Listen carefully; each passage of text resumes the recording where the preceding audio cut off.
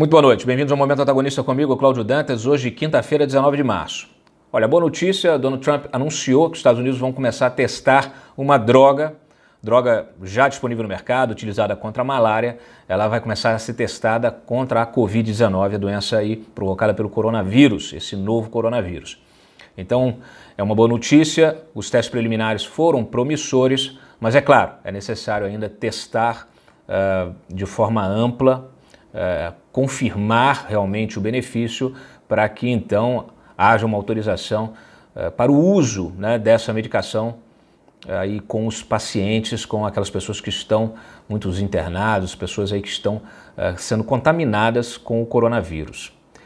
O anúncio é, do uso dessa, dessa medicação se chama cloroquina e hidroxicloroquina. São remédios, na verdade, contra malária e artrite. É, essa medicação, como está disponível nas farmácias, aí aqui no Brasil já começaram a correr nas farmácias para comprar essa medicação. Olha, primeiro que a automedicação é um negócio perigosíssimo. Depois que não é, não é essa não é a solução, não é o caminho. É, e isso é muito ruim, é muito prejudicial, porque pode provocar um desabastecimento uh, pessoas comprarem sem necessidade e faltar o medicamento para quem precisa, caso esse medicamento seja autorizado, para quem já está internado, para quem realmente está precisando para o uso emergencial. Inclusive, eu uh, vi que alguns laboratórios, o EMS, que produz esse tipo de medicamento, suspendeu, fez muito bem, suspendeu a venda direta aí para o consumidor uh, e vai concentrar na venda para os hospitais. A gente tem que ter muita calma. É uma situação realmente grave, é uma crise sanitária, precisamos tomar medidas drásticas, mas é preciso muita calma. Evitar a histeria, como essas corridas, corrida farmácia. Aí, hoje, inclusive, o secretário de Ciência, Tecnologia e Insumos Estratégicos do Ministério da Saúde, Desimar Viana, é, comentou na coletiva é, justamente isso. Falou, não, por favor, não corram às farmácias. Aliás, ele disse o seguinte: é, Sobre o medicamento, ele disse: olha, os testes são promissores e existe uma plausibilidade biológica de que esse mecanismo faça sentido, mas os estudos ainda são insuficientes. Ele explica o seguinte: são in vitro, não foram feitos em pacientes, uh, foram testes em bancada. Os estudos feitos em pacientes foram com 20 pacientes, com um desenho aberto, não é randomizado, não tem os critérios metodológicos necessários para estabelecer relação de nexo causal sinaliza um medicamento promissor, mas que tem que ser testado em estudos mais bem elaborados, que inclusive estão em curso. O próprio OMS vai fazer estudo multicêntrico para testar efetivamente e recomendar os protocolos clínicos terapêuticos. É, os testes começaram na França, inclusive a França começou a testar esse medicamento, os Estados Unidos também, e aí agora o OMS resolveu então concentrar os estudos em relação ao uso, possível uso dessa medicação. O secretário disse o seguinte também: está havendo uma busca para comprar esse medicamento na farmácia, não façam isso. Temos laboratórios públicos que fabricam. Se porventura esses estudos mostrarem esse tipo de benefício, temos condição de prover esse tratamento para a população.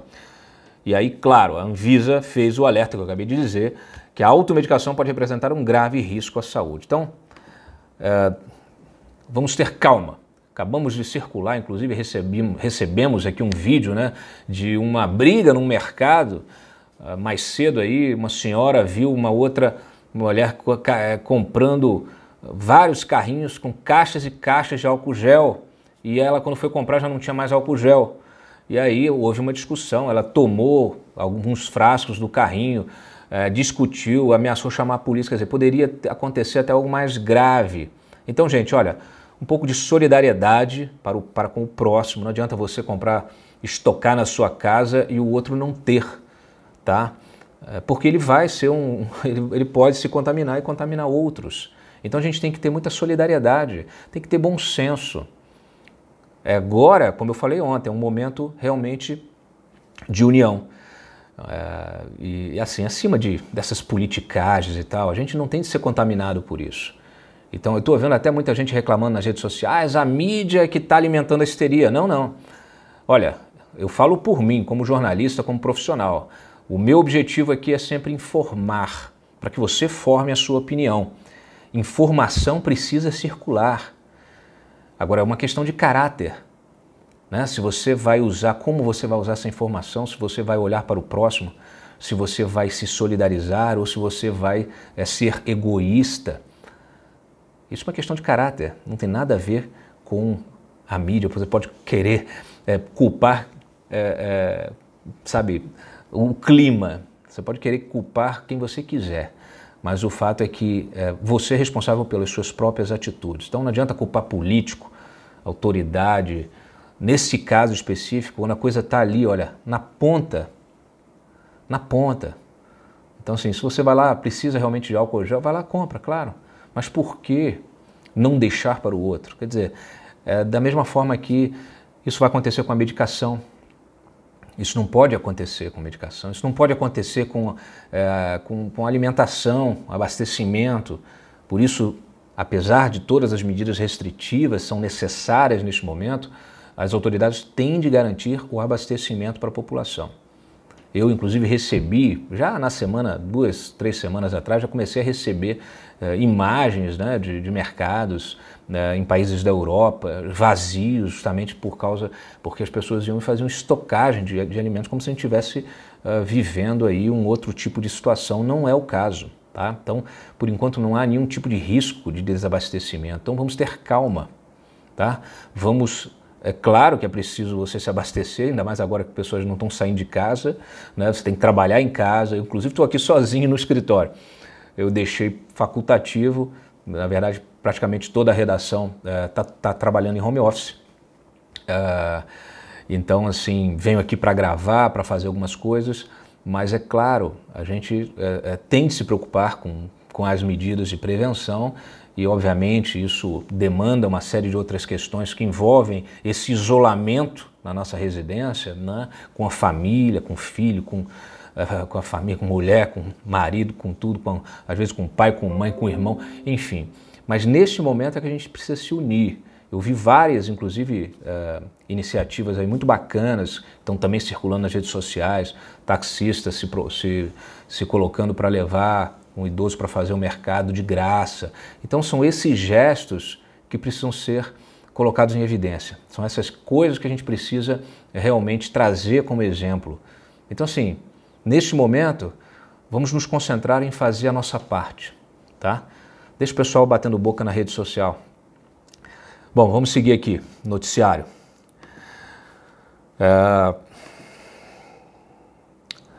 temos aqui várias é, questões, né?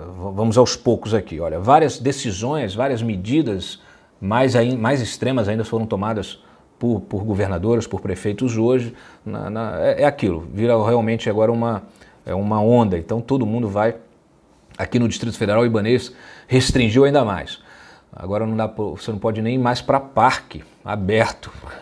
É realmente situação complicada, né? Já tem aí, fechou também, mandou fechar o comércio só vai estar aberto esse comércio de abastecimento. Farmácia, mercado, mercadinho, açougue, essas coisas.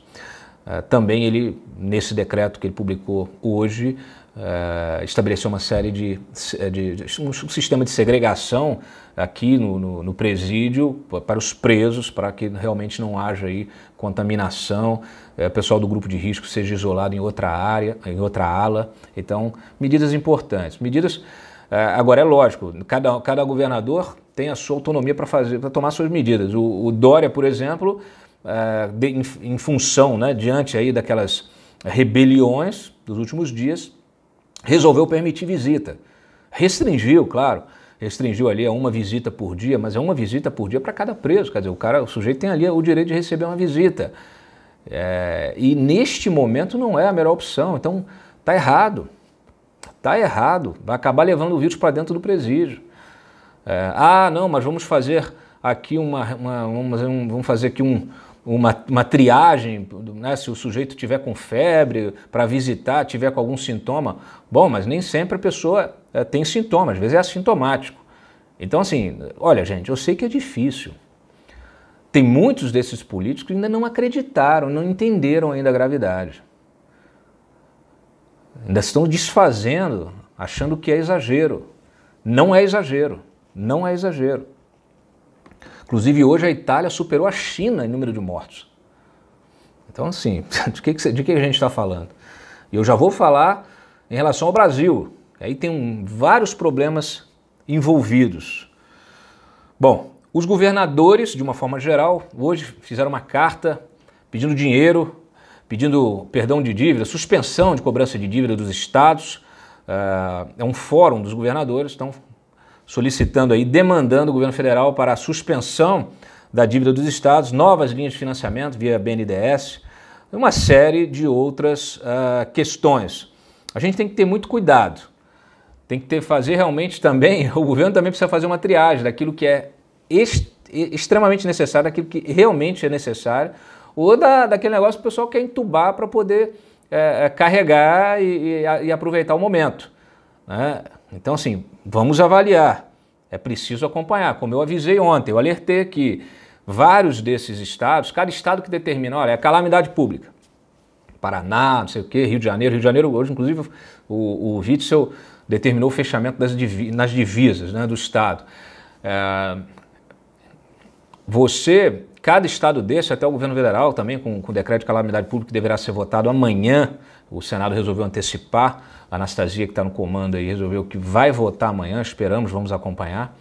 Uh, e é importante que, que, isso seja feito. Então, o que, que acontece com esses estados de, de, de exceção, vamos dizer assim?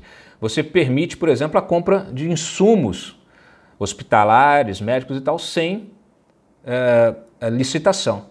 Então, assim, eu já estou fazendo aqui uma varredura, já encontrei uma série de exemplos aqui uh, que vão colocar uh, realmente esse sistema em questão. por quê? Não pode virar farra. Não pode virar farra. Muito pelo contrário. Porra, no momento que a gente está com recursos limitados, com gente precisando, precisando ser atendida, aí você vai fazer o quê? Vai, vai contratar daquele esquema para receber por fora, superfaturado? Porra, é crime, né? É crime, crime contra a humanidade, tá? É, é uma é lesa pátria, é mais do que corrupção, né? No sentido moral da coisa. Então, é, muita atenção, gente, muita atenção. Hoje, inclusive, falei ontem da, da questão da telemedicina. Existe um lobby poderosíssimo de grandes planos de saúde querendo emplacar a teleconsulta. A telemedicina é importante, ela pode ser utilizada para várias coisas, para acompanhamento, monitoramento, para troca de informações entre médicos, para monitoramento de, de, de pacientes que já foram atendidos presencialmente, mas teleconsulta para é, paciente novo não rola. Você precisa fazer exame clínico no sujeito, presencial, precisa medir, né, ver se o cara está com febre, pulsação. Então, assim, tem que ter, é, tem que ter critério nisso aí. E, felizmente, o, o, Conselho Federal de Medicina mandou, o presidente mandou um ofício ao Jair Bolsonaro já avisando, olha, nós vamos aqui, nós estabelecemos aqui o que, que pode, o que, que pode o que, que não pode, né? da telemedicina. Então, basicamente, é, é isso que eu falei. Eles. É, ofício para o Mandetta, perdão. O que, que eles fazem? Eles falam: olha, é possível a gente implementar nesse momento de emergência, é importante, é, mas para ser usado na teleorientação, telemonitoramento e teleinterconsulta. Tá? Então, é importante, sempre tem os oportunistas, a gente não pode deixar né? Ainda mais num momento como esse, né? com recursos gente não pode deixar isso acontecer, a gente não pode deixar a coisa ser feita é, de forma a, a, beneficiar alguns, né? alguns. Inclusive uma deputada do Novo, estava com o nome dela aqui, agora, agora saiu da minha, da minha lista aqui. Mas é uma deputada do Novo, de São Paulo, que ela é, até sugeriu um projeto de lei para a telemedicina, mas um projeto genérico. Tá? Então, claro que interessa a muitos grupos aí de lobby. Então tem que, tem que ter atenção. Vamos, vamos em frente. Bom, a Argentina decretou quarentena total, a questão não é só no, interna do Brasil. O Brasil também determinou uma série de restrições ao ingresso, proibindo né, até o ingresso de estrangeiros vindos de países aqui da América do Sul, é, tanto os de fronteira aqui, como uh, também os vindos é, por voos, tanto fronteira terrestre como aqueles que vêm, uh, que vêm uh, em voos, em, por aviões, em aeroportos e tudo, que era uma coisa, uma demanda já que, que a gente vinha cobrando aqui, porque é, vários países fizeram isso, né? os Estados Unidos já fez isso, já tem mais de uma semana aí. É, então a gente estava na expectativa realmente que o governo também fizesse isso aqui. É, eu, desde o início dessa, dessa pandemia aí, quando começou a coisa realmente a, a crescer, eu já fiquei alerta, conversei com alguns amigos da, da, da, vigilância sanitária, o pessoal até também dos aeroportos, o pessoal me avisava, Cláudio, é, não estão fazendo teste nenhum, né? Você preenche uma folha, diz de onde você veio e tal, mas não está fazendo teste de temperatura, você não está fazendo nada. Então é preciso implementar é, todos os protocolos, gente. Vamos implementar todos os protocolos. Eu vi que até o governo da Bahia teve que ir à justiça para conseguir a liberação para fazer isso no aeroporto uh, de Salvador com voos vindos de outros estados que são hub, né? Brasília, São Paulo, Rio. Então também é uma medida necessária fazer essa triagem de quem está vindo, de quem está chegando. Então houve aí essa determinação então é, a gente já vinha comentando ela ontem, hoje realmente houve a determinação do fechamento, vamos dizer assim, das fronteiras terrestres pra, para estrangeiros, para eh, eh, os, os, os nacionais desses países, mas também a restrição aí para quem tiver também vindo, chegando via aérea, tá? Ok? Então é isso. Vários outros países já tinham determinado isso. Então vamos aí cada um fechando aí no seu no seu gueto, no seu território. E mais eu destaco para vocês aqui. Uh, bom, vamos lá. O Ministério da Saúde fez uma nova coletiva, são coletivas diárias, atualizando aí os números. Né? Então temos aí 621 casos confirmados de coronavírus, com seis mortes registradas. Inclusive parece que surgiu uma sétima. Aí tem por, por estado. São Paulo continua sendo o líder, né? 286 casos e 4 mortes, seguido do Rio de Janeiro de 65 casos e 2 mortes, Distrito Federal 42 casos e nenhuma morte ainda. Bom, esses são os números que foram que nos foram passados à tarde. Nós publicamos inclusive uma lista detalhada dos casos por estado, tal, por cidade, é, por, por região, por estado. É, mas aí é o seguinte, olha só, é, tem um plano de saúde que é o Prevent Senior, que tem um hospital próprio e que é voltado justamente para o cuidado de idosos. É, eles registraram já cinco mortes. Saiu um boletim com cinco mortes. Nós publicamos. Dessas cinco mortes, apenas uma está na, nessa, nessa contagem oficial. E aí a gente tem um problema de comunicação, não só por parte do hospital, do, do plano de saúde, do hospital no caso, como também das secretarias municipal, secretaria municipal, secretaria estadual e, e na, na, no, no, no, topo aí o governo federal. Então, quando o Mandetta está anunciando aqui essas seis mortes, na verdade, olha, Mandetta, tem mais, tem pelo menos mais quatro. E isso num lugar, num hospital de um plano de saúde. Vocês imaginam, imaginem isso no, no país inteiro. Então, olha, é preciso realmente haver um entendimento entre planos de saúde, hospitais, etc., com as secretarias. As secretarias municipais precisam atuar de forma é, realmente efetiva. Abriram aí até investigação para esses casos. Ah, eles não notificaram porque tinha que notificar ainda no diagnóstico para a gente poder fazer o monitoramento, o acompanhamento do paciente. Bom, não adianta agora ficar um jogando a culpa no outro. A gente precisa estabelecer padrões, protocolos e melhorar essa comunicação. Por quê? Porque tem essas falhas, com tanta tecnologia disponível. Então precisamos concentrar, melhorar a, essa, a transmissão desses dados para que isso chegue para quem tem a, a, a, obrigação de tomar decisões, para justamente você saber como que atua. Porque senão a gente pode estar diante de, um, de uma situação em que assim, ah, eu tenho aqui 620, 621 casos é confirmado. De repente são 6 mil. Vocês entendem?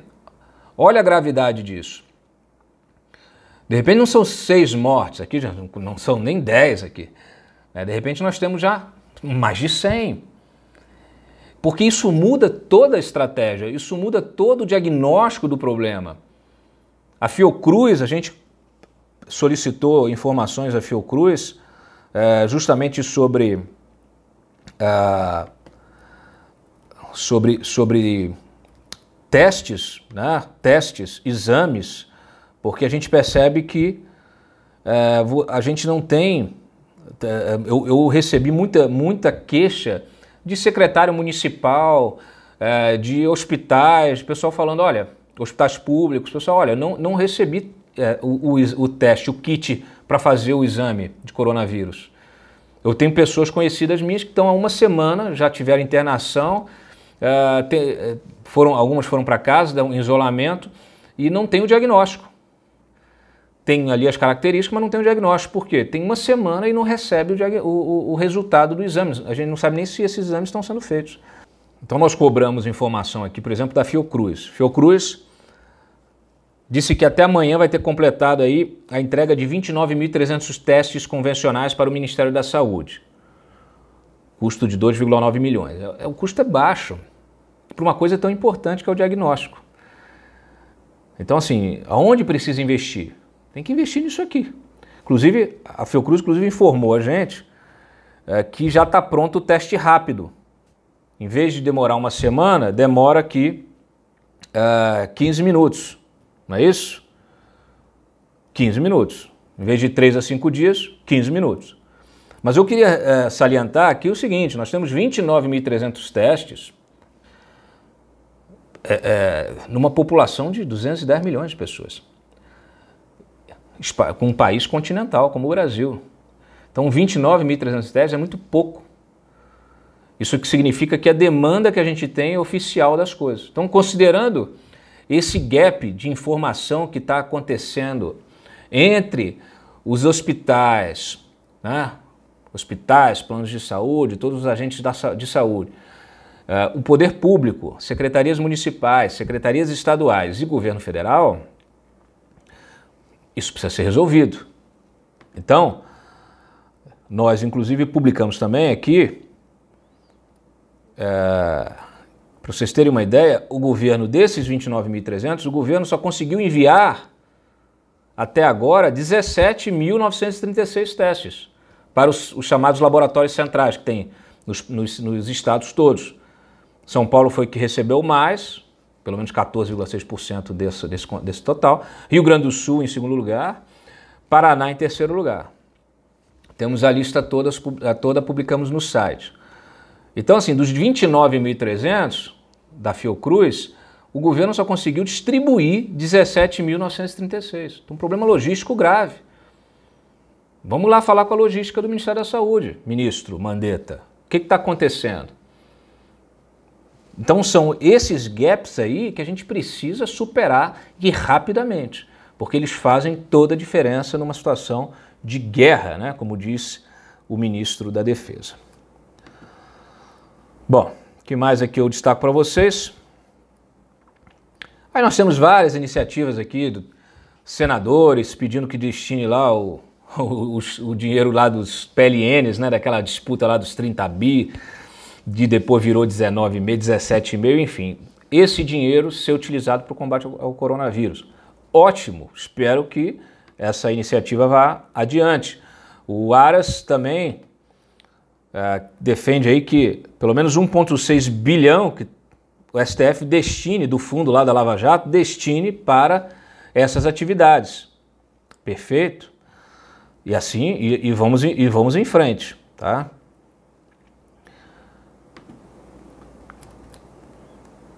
A própria Fiocruz pediu ao STF parte desse dinheiro. Então, assim, vamos ser rápidos com isso. A Fiocruz precisa aumentar a produção, colocar esses testes rápidos lá na praça. Né? Isso precisa ser distribuído no país, precisa ter uma operação de guerra, uma operação logística de guerra, para isso chegar na ponta, em todos os municípios, para que gente, as, as pessoas possam fazer seus testes. Tá?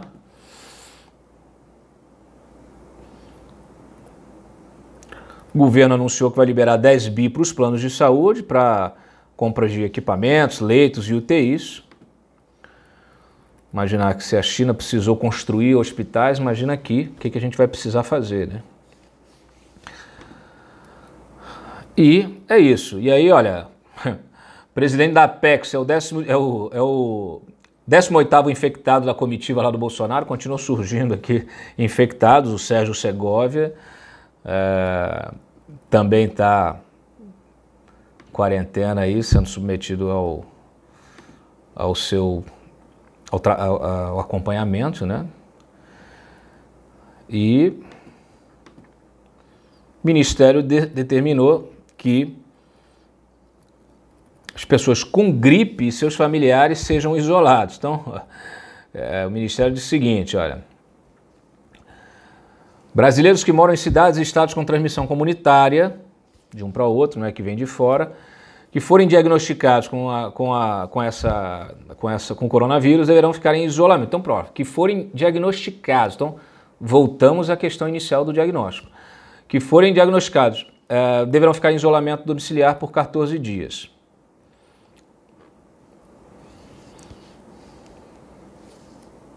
Na verdade, aqui é até mais abrangente. É síndrome gripal, não é nem o coronavírus. Aqui é o seguinte: quem tiver gripe vai para casa e vai ficar isolado.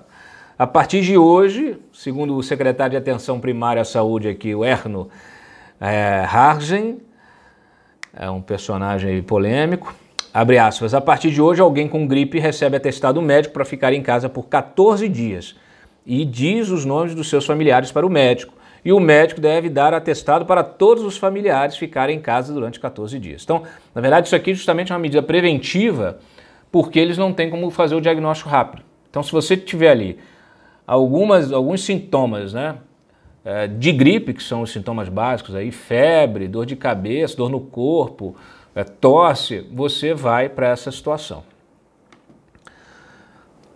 Então, no fim das contas, é aquilo, né? Se a gente tivesse um sistema funcionando bem, eu sei das, das dificuldades todas. Aqui é uma crítica pontual e construtiva. A gente precisa investir, saber aonde investir, porque senão fica todo mundo pedindo dinheiro para cá, para lá, para cá, para lá, e, e, às vezes quem precisa você não, você não faz é, o aporte necessário à alocação do recurso. Então é isso. O ministro Celso de Mello recebeu a alta médica, a gente estava com ele estava com um quadro infeccioso, ficamos até achando que ele estava com, com coronavírus, mas não estava, a assessoria já tinha dito que não. Então ele vai, tem a alta médica, vai se recuperar e vai poder retomar, retom, retomar, né? Ou retornar, melhor dizendo, ao STF. Só que o STF está nessa situação também aí, é, de quarentena, né? Com os julgamentos é, suspensos e uma situação realmente complicada. De qualquer forma, ele está de licença até o dia 30. Vamos lá. É isso.